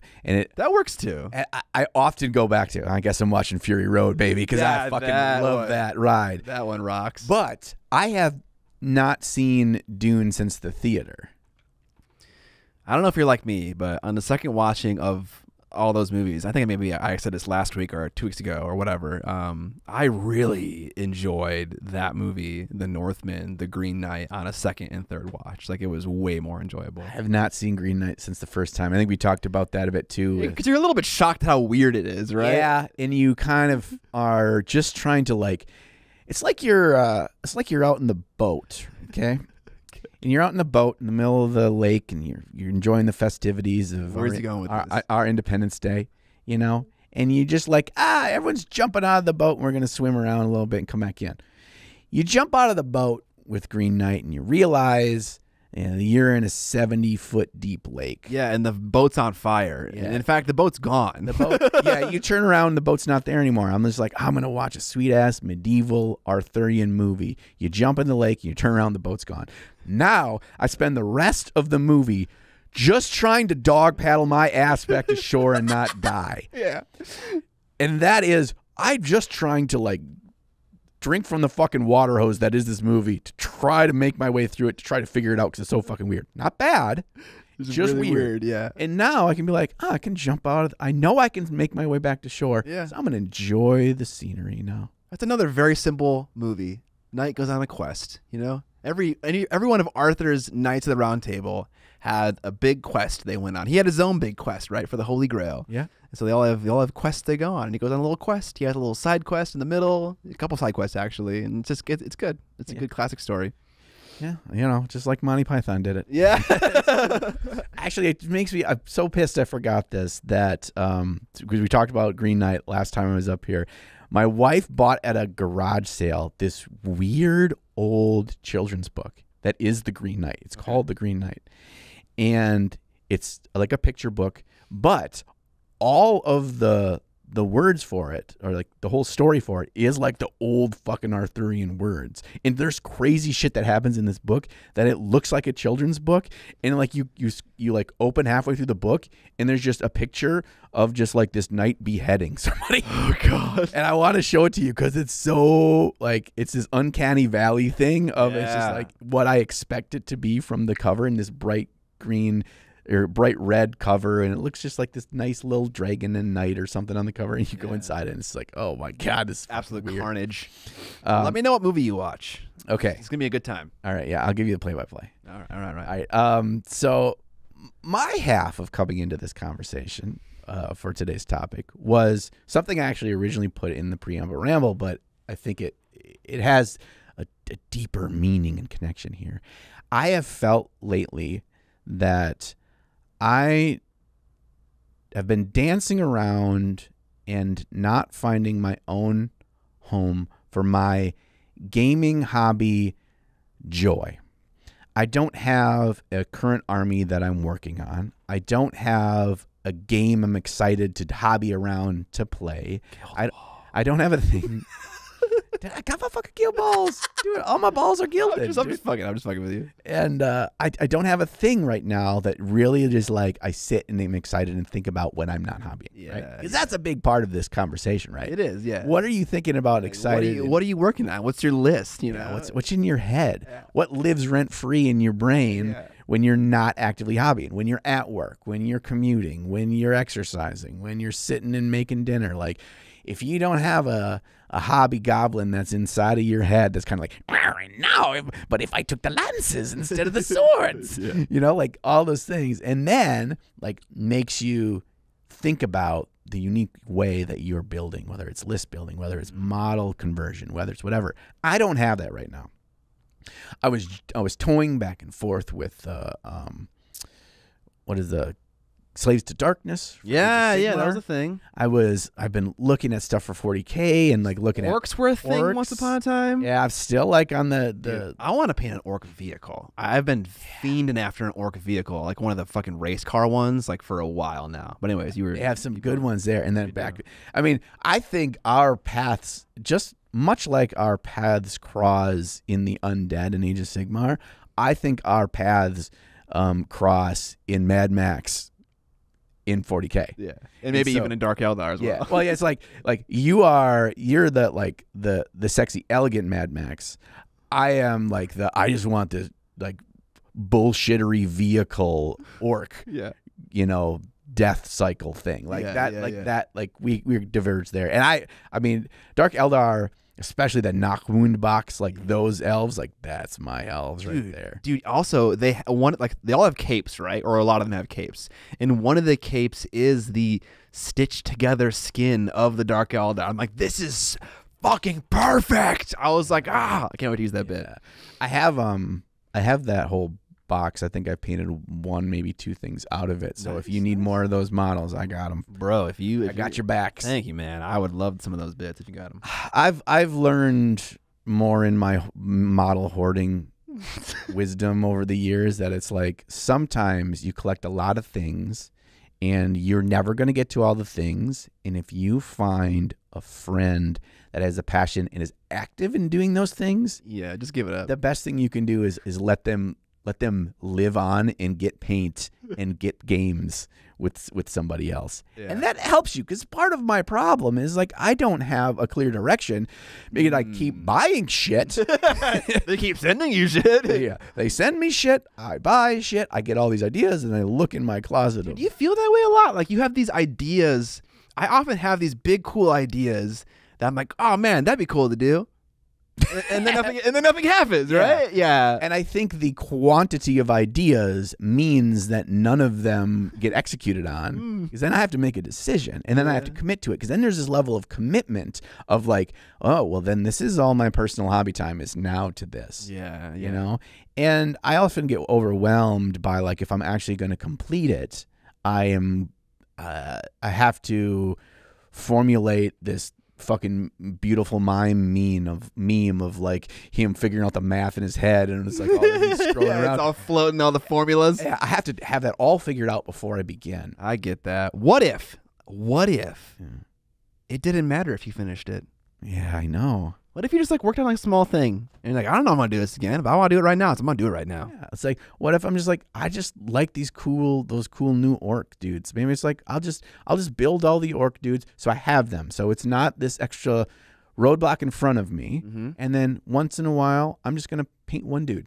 Yeah. And then eventually I'll have a bunch of dudes. And then I can play Kill Team with them. Yeah. And then I could maybe play the Combat Patrol thousand point version of There you go. And then And then and then I build a big murder truck. yeah, You know, with a bunch of murder clowns in it. Yeah, dude. Or clowns, dude. Wicked clowns. It's gonna be the fucking juggalos and juggalettes, baby. But I do understand this idea where it's like I want to have this idea for an army, right? And so if you're like if if you don't and I also I kind of feel like with you, you like to have clear direction and deadlines and goals for things. You like to execute on those goals in a nice stepped manner yeah. Uh, because that gives you like a sense of accomplishment and like feeling, you know, feeling good. Yeah, structure is a, a I, which is a weird. I don't know. I just I swear I'm chaotic evil, so I need to like but I'm also actually lawful evil. So it's like I I love the idea of chaos, but truly underneath the skin, I need order. Yeah. You know, I Sure. need I need the order for it to for it to work. And I think from a hobby side, that really comes into a big roadblock for me is understanding the painting side really clearly before I begin. Yeah. And I don't necessarily mean like color scheme. The biggest thing that's that I've realized lately is because I am this like weird amoeba in the you know primordial soup of of painting styles. I paint in such a wide variety of styles. So I painted fucking samurai bunny, which is way the fuck out here, Yeah. and then I paint this thing, yeah. and which is this. I'm I'm holding up the Tyranid that is box art light, crisp, clean GW style. Mm-hmm. And then I'm way over in this fucking grim dark and enamel washes and oil bullshittery. And I'm all over the place. You feel like Bilbo right now, right? Yeah. I mean, I am I am butter spread across too much bread. yeah, no, I get that. You know? Yeah, I get that. And so here's the thing. The artsy fartsy Jon loves that variety. Loves that I am not I'm not beholden to any master in my painting style, right? I am not Juan Hidalgo that I feel like every time I do a painting video, it has to be uh, the Evie contrast painting video. Right, yeah, not pigeonholed. I, I, I feel so free in that. However, because I have this level of like, I, whatever way the wind is blowing for me that day, that is the muse and that is the way I'll paint. I do not like the feeling of ha- applying that to my stuff for a game. There's no home base, right? Yeah, there's I, I need to always go back home, right? Yeah. And so I need my big roadblock is I need that home base of painting style Yeah. that I'm going to apply to this bigger project. And this is not me feeling I can't execute on it. This is me feeling on I need to establish that mentally. And then I need to have a certain level of order in uh, me knowing that. So every time I pick up a new orc to paint, I know my home base and I know where I'm starting from. Mm-hmm. Um, a cool little revelation I've had lately is I've really been enjoying this clean GW style, and I really like how it looks on the tabletop, like playing a game. Mm-hmm.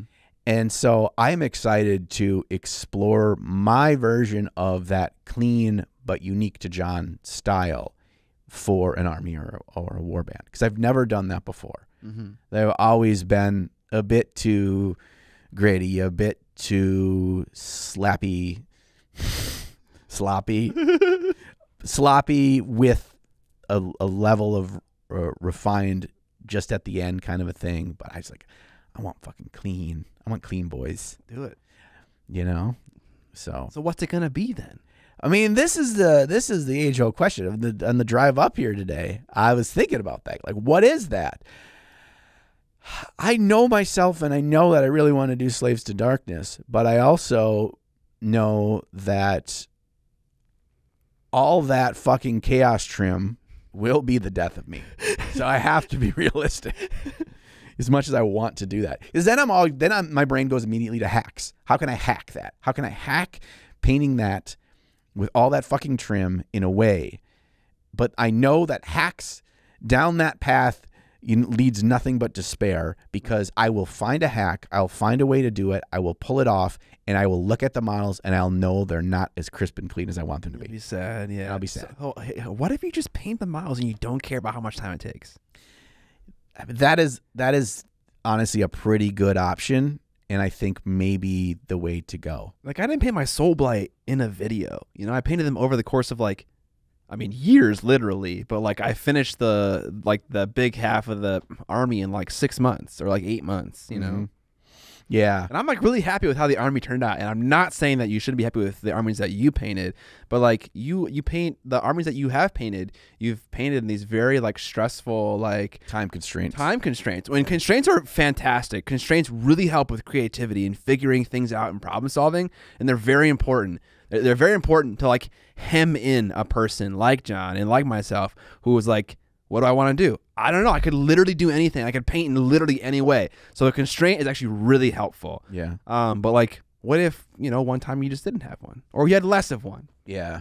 I think maybe that is the the key to it is um for better or worse, a lot of at this point all of my hobbying in which um is all of my hobbying is tied to videos. Videos. videos. And so I think there is a bit of the the hole in my soul that's happening right now and has been for a while is Mm-hmm. it is if it's not happening for a video it doesn't happen. Yeah. Now, I don't say that to look for any sympathy or any I appreciate that comment so much. yeah. because I feel that so often. It's like I, I get a lot of joy out of just kind of explaining to you guys about how I feel and like in, in like what's going on in my in my life. But I'm not asking for anyone to feel bad for me. Yeah. and you feel a very similar way, I right? I, yeah. don't.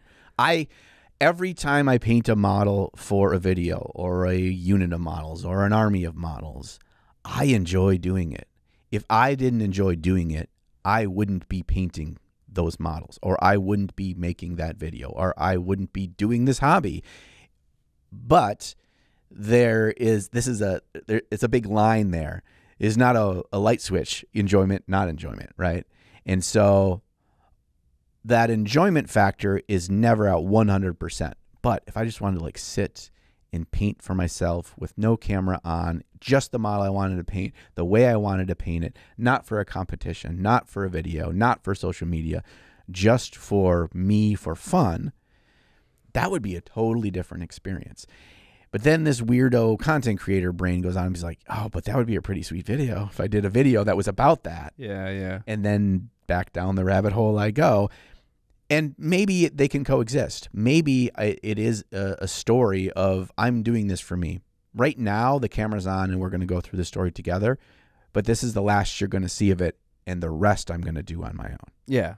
Or you could do like I'm gonna paint an army over the course of a quarter of a year, and I'm gonna make uh, out of the three videos I make every single month, one of them is gonna be about like my, my army, and it's not gonna be like army part one, army part two. You know, it's like it's a unique topic that's relevant to the part of the army you're painting in the video that is useful for for clickbait and for thumbnailing purposes, but it's still you making progress. Um, you also don't have to. I, I feel like it's way better if you don't explicitly state this is gonna be a series. Like Yeah. I wouldn't I wouldn't even even in the first video of you if you did that idea painting the army I wouldn't say we're gonna make a couple more of these videos I would I, I feel like I wouldn't even say that because one it commits you to the thing and you feel like pressure to do it then Yeah. but two then it's like if people feel like they're missing part one and part two or the imaginary part one and part two they'll, they'll skip future ones as well so I would just like I would just kind of float it in low key and be like I'm painting an army you guys don't even know it Yeah, didn't even uh, didn't even realize it. Yeah. Bam, it's on you. I kind of did that in my la- latest video where I kit bashed the big bug, yeah where I was like, you know, would you guys want to see this painted? Would you? Was this a, a series, you know, a two parter that you'd like to see? Part of why I throw that out there is a little bit like how the sausage is made. Two reasons. One, I mean, push engagement. yeah you drive comments yeah, right. Drive comments yeah yeah yeah two, I get good feedback on that comments. Like Mhm. I understand, you know, like oh, you know, if not a lot of people are saying that, uh, now I know. Three, if the video, if that first video performed poorly, I am not on the hook to do a follow up. Luckily for me, the video did well, and I am actually excited to paint that big fucker because I think it will look way cooler painted than it looks just kit bashed and unpainted. And so I I think maybe there's a little bit I can have learned from that to do something like this. But I, I get the end of the day, if it's not a thing that I'm willing to do with the camera off, I'm not I shouldn't do it. If I end up Mm. doing a video or a couple videos on my hobbying for gaming and how I approach the painting, that the goal is to play games with it. Um, if I'm not willing to do that when the camera's off, then I shouldn't force it. And so I need to find something that's true to me, like Jon, the hobbyist, completely separate from Jon, the YouTuber. And if I can find the thing that excites me for just Jon the hobbyist, I think it's going to be better for me in my my own hobby, my own like mental health and enjoyment of what this hobby can do, and for my excitement long term in being engaged in the gaming and the the painting to game side. And I think if that I can figure that out, then I will be able to have a really positive experience. And this ties back into this episode's topic, which is it needs to feel true to me and, and what unique to me and my own spin on it, and just enough uniqueness, just enough individuality that it feels solely me, but not so massive that it, it's too large of a project that I feel like I can complete. That's that's kind of where I'm feeling in, in this in this realm right now. Yeah, and it's really good to like identify like what works for you as an individual because I feel like uh, what I'm hearing Jon say is that like maybe he wouldn't be. I mean, I don't know if you're willing to like maybe like do like uh like hardcore conversions as part of like uh, a main staple unit in your army, and that's totally fine. Like. I don't know. I kind of find like I'm in a sweet spot right now. Like I brought these models home and hobbied on them at home. I was sculpting at, at, at my house, and like it didn't matter to me how long it was taking. And so finding what works for you and finding where you find your enjoyment in the hobby and spending time in that area is really important. It's like maybe maybe what we're saying isn't like really working for you, but like trying something else out and, and finding that that joy. It's you kind of find like you, you get in the pocket, right? It's just like it doesn't matter how long it's taking, and you're just having fun, and it's, and that's all that Yeah. matters. It's like it's a really special place to be, and we should all we should all search for that that kind of that kind of feeling. Yeah, and and not having there's something you you touch on there and you mentioned earlier is like putting the time constraints and having it all figured out before you begin should not be the way that you feel like you need to approach it. Like if you're just like I want to make a cooler looking Corsair, that is all you need to know. Yeah, Right. Then just dig in. Do not constrain yourself in any form or fashion. You know, if if you are doing that, you goody peepees at home, you are doing that with like, I'm just going to do one model and I just want to see how cool I can make it. Uh, it's going to maybe I'm just going to tweak the head and I'm going to paint it with this totally different head and see what it looks like. Like you don't need to commit to or know the answer to that being your a full unit of those things or a full army or a new faction or whatever. None of that. Just go with it and you'll know at at the time you have done it whether you want to continue or not. hmm But for now, we'll just do some milliput sculpting. Yeah. That's all So I'm worrying about. so to tie back to this clickbaity title, so you know y'all can not use that word in the in the Oh, comment they section will. below. They will.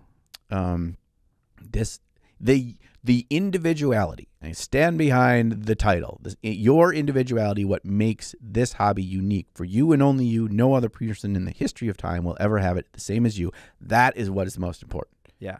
You know. At least to us, like like I mentioned before we started the podcast, it is the lifeblood for my hobby. If I stop doing that, I can go on for six months. I can go on for maybe a year, but I will not want to paint ever again. Mhm. Like it, it will kill my enjoyment. And so this this kind of thing is necessary for me to have fun. Yeah. I think at its at its heart, all levels of creation, art, or you know, woodworking, making your own rocking chair. Like, if you do that, that level of creation, at its heart, it is creating a thing that's unique that you brought into existence and no one else has done. And there can be, you can make a copy of that. You can do step by step, and you can show people how to make the exact same rocking chair but it's not the same rocking chair as yours. And so that's kind of what we're doing here. It's like, yes, it's a uh, back to the Ultramarines. Yes, it's an Ultramarine army, and there's ten thousand fully painted Ultramarine armies in the world right now. It's probably more than that. But this one is unique to you because your hand made it and it was your story and the way you built your list, the way you wanted to come up with how they are. Um, it's just that that unique aspect of that. And if you take that out of it, or if you you lean away from it, I feel like you are treading in in dangerous waters. Um, and I mean, I guess there are people that are like they pay someone to paint their army and they just want to go to tournaments and just want to play. Oh yeah, they're not they're not listening right now. Yeah, they're they're not here. Yeah, no, they're not here. yeah, yeah, they're not here. You're here. You're here. You can't go. You can't escape. You're I'm not stuck in here with you. You're stuck in here with me. E. Well, I mean, do you feel like we have thoroughly convinced everyone that the most important thing in the hobby is that it is unique to them? Do you think that we convince them? I hope that we convince them that it's the most important to us and for them to consider it. And the most important to them, and their opinion doesn't matter. Yeah, you've everything that we say about the hobby you should apply to your own life one to one. You and I are the same person. Look me in the eyes. Even though you're an audio listener, look me in the listen, look me in the ear eyes. You say lick me in the ear Yeah, eyes? That's what I said. Yeah, yeah, yeah. I, I mean- want to. What's it called when someone licks their finger and puts it in your fucking ear? Wet Willy? Wet willy, dude. You want a virtual Wet Willy from all the yeah, yeah, yeah, yeah. You get so much fucking HIV and What a classic bamboozle, you know? Let I me mean- just stick my moist finger in your fucking ear, dude. You know what's funny is like whenever like if you'd like see that or you think about a wet willy or like you know you see it in a show or whatever you see your friend do it your other friend in middle school whatever Yeah, yeah. it's kind of funny it's not that like weird uh, it's not that odd you ever get a wet willy it's the most It's weird fucking thing and it Yeah. is like it, you feel so violated That's the exact word I was gonna use when you're done talking. It's such a violation. Yeah. Yeah. So you ever want to like just totally piss off your significant other? Just wet willy them out of nowhere, and they're gonna not like it. I was like, I was like, oh, I should wet Willie Jon like later today, like when he sits down at like a restaurant. I was like, come behind him and just like pop right in, dude. So you better be fucking watching, bro. Yeah, dude. Now that you mention that, now I'm gonna be eyes out. Here's on guard, dude. Yeah, but is yeah, but but if you didn't say that comment right there, and then you just hit me later, I would be like, "Fuck! How did I not see this coming?" All right, on to the news.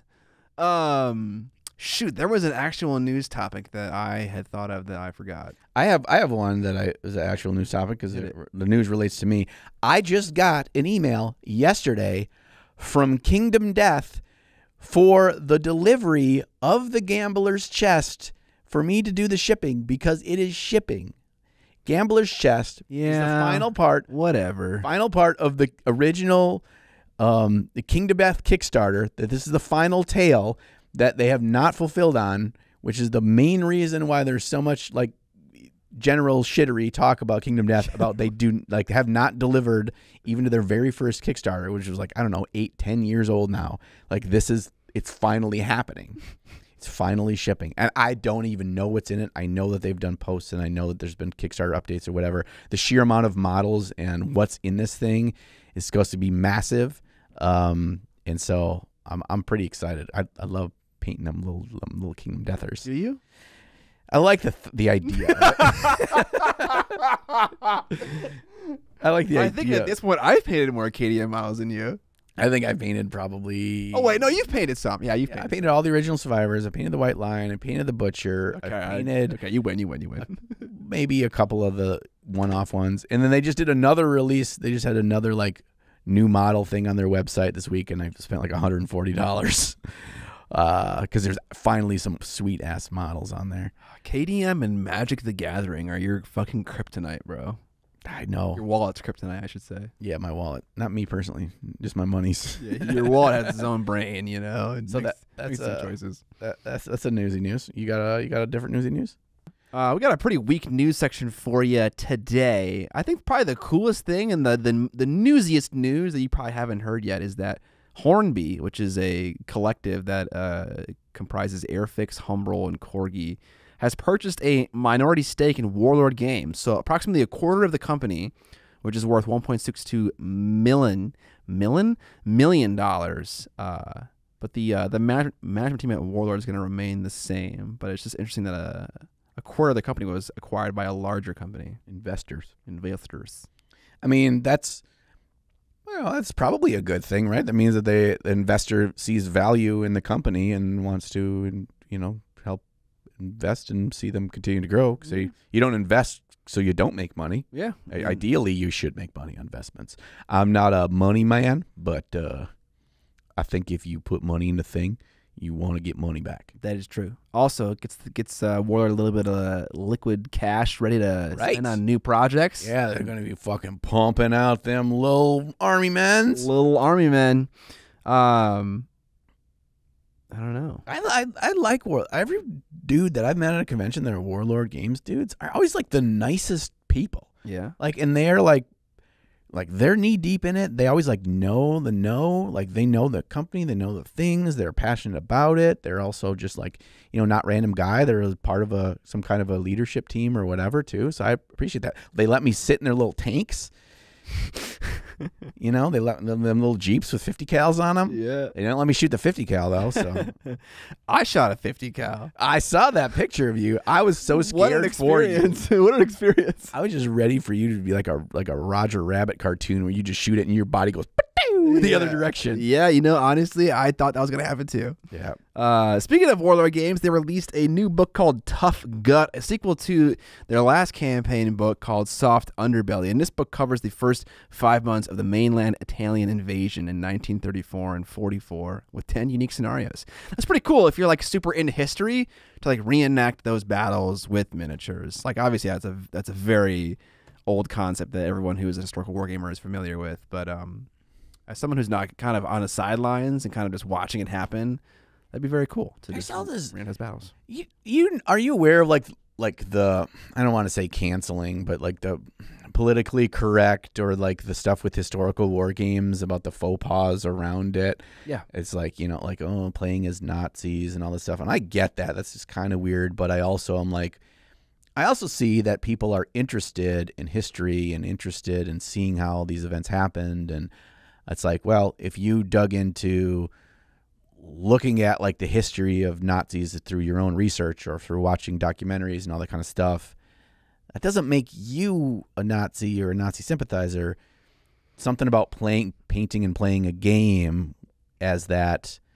I could see where it's like, oh, you feel a little bit more positive connection, but I don't think people do. But it's it's it's really interesting, and I, I almost wonder if like chatting with the the Warlord Games people, and see like what do they, what do they think about like that? Yeah. How do they toe that line? Like, how do they reconcile that feeling of like wanting to appreciate history for what it is, but being labeled as like a Nazi sympathizer because you're painting and playing as like German soldiers, you know? Right. It's like a I don't know how like often that happens. Um, and like I know of people that do stray too far into the appreciation of Yeah. like that culture in that time period. Um, so it's like I don't know, uh, that doesn't represent the majority of the hobby for sure. Uh, but they probably have to. They, they suffer the costs of those Right. minority, right? Right. Um, That's yeah. kind of like when when GW did their big statement of like we don't support people that are like fascists and play 40k or whatever, and it's like that is not okay and blah blah blah. And it's you know you kind of think like yeah we make the game we don't support like you could make anything you could make fucking like baby wipes. And it doesn't mean that like well we make the baby wipes. So anybody if ted bundy used baby wipes that like we're associate you know what i mean? Like it's like at some point it's like we cr- we create a thing. We're not responsible for how it's used in a way. this is also a thing of like the like the era of the internet where it's just like oh it's this invisible scary other in the a- ether. But me on the internet i just assume that it's like this craziest worst case scenario exists but but also like you go to your game store you meet a really nice dude you can play you know maybe you play a whatever game with them and you're like oh this is a regular guy he's a nice guy he's an interesting guy he you know, he's got four different armies for this bolt action game. That doesn't mean he's a weird. I was like, oh, if you met a real person and find out they're good people, like you know, it's, it's uh, you know, this you know, not everyone's a weirdo.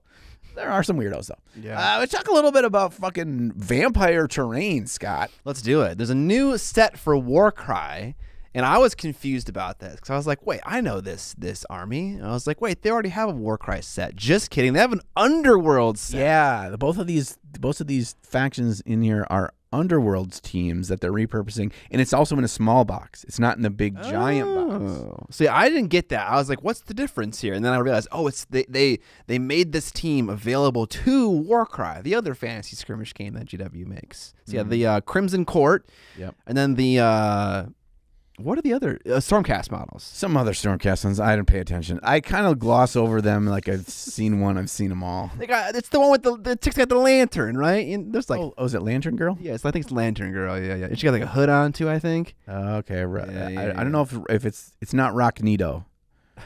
Um, that's a different one. That's a different one. Okay, but But the the models inside are all refurbished or reused ones, but there's new terrain in there. There's new. There's I think I don't think all the terrain in it is new, but there's definitely some new undead terrain in there. And like a big statue thing. Uh, it's like a vampire statue thing, and like a big crazy coffin thing. You know, all these things are great. Yeah. Uh, I mean, I love them too. I, I would love to have those bits to sprinkle into some vampire themed terrain. Yeah, they're little sprinkles on your your uh, vampire Little uh, Sunday. sprinkles. Yeah. uh, Mantic, good guy Mantic, uh, came out with a new book uh, called Firefight Command Protocols. And if you ordered that book or a uh, a product that contained that book sometime in 2023, if you email the support line, they will ship you a free copy of that new book. That's pretty fucking cool. That's nice. I'm, I'm very into that. Good, good job, Mantic. Yeah, sometimes sometimes you just do what's right by your customers. Yeah. Uh, GW also announced this is like the, the the typical release rotation now, or after your big launch of the new edition, the new box set, the Leviathan box set. Now they're going to start coming in the back door with these different size box starter sets. Um, so it's Marines, gaunts, some paints, some handbooks, whatever, as well as they they do different sizes. So people like want to get in and what level you want to get in. So it's like you know same old same old. Although I don't know if they've ever done it that have included like hobby supplies with like brushes and paints before. Mm. Maybe they have, and I just One of the bigger boxes? Yeah, I'm not sure. Definitely, they've definitely had starter sets in the past that were smaller, but for a just like a couple models, but they're from the factions from the newest box or whatever. Exactly. But yeah, yeah, yeah. um, I just think that three is a weird number. It is. You know, three shall be the number.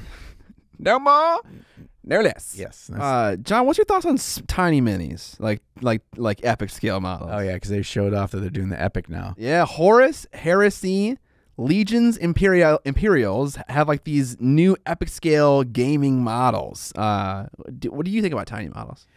The only thing that excites me about them right now is thinking about like the stuff that um, Roman Lappat's doing with the shadow boxes.